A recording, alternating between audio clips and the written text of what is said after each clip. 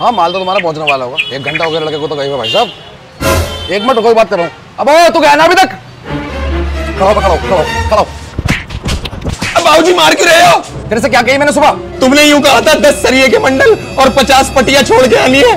तो पहुँचे कैसे ना अभी तक? पार्टी का मेरे पास फ़ोन आ रहा है। बाबूजी मैं अकेला कैसे छोड़ के आऊँ? बता ले जरा। भैंसा तो सोया पड़ा। ऐसे को उठा मुझे नहीं पता। वरना तेरी भी खाट खड़ी कर दो वैसे की भी। ठीक है ठीक है। भैंसे!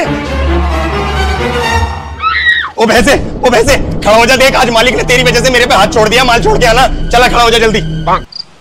अबे भैया, भैंसे, खड़ा हो जा, वरना मालिक तेरी भी खाट खड़ी कर देगा और मेरी भी खाट खड़ी कर देगा। आ जल्दी आ खड़ा हो के अबे तू ऐसे ना मानेगा, रुक जा। हेलो, कल्लू कसाई? अरे एक भैंसा कटना है। कहाँ जाना माल? कौन काट कौन काट माल का जाना जल्दी चल। ये बदतमीजी मत करिए दोबारा से आज के बाद। चल जल्दी।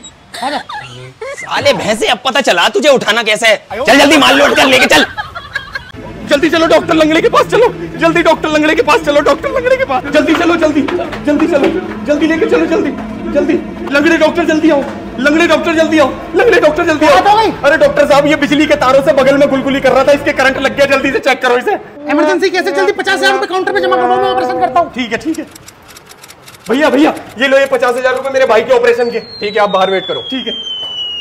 अबे यार अगर आज ये मर गया ना तो इसे जान से मार दूँगा मैं। मैंने इससे मना करा था बिजली के तार से बगल में गुलगुली मत कर।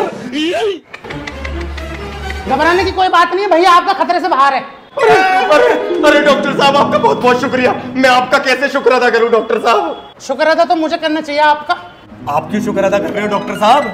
तुम टाइम से पेशेंट को लिया टाइम से पेमेंट होगी काउंटर पे बिजली का बिल भी भर गया अन्नी आज हॉस्पिटल का मीटर कटना था लाइट ना होती तो मुझे हाथ से ऑपरेशन करना पड़ता फिर भैया मुश्किल बचता ले जाओ चलो चलो आओ।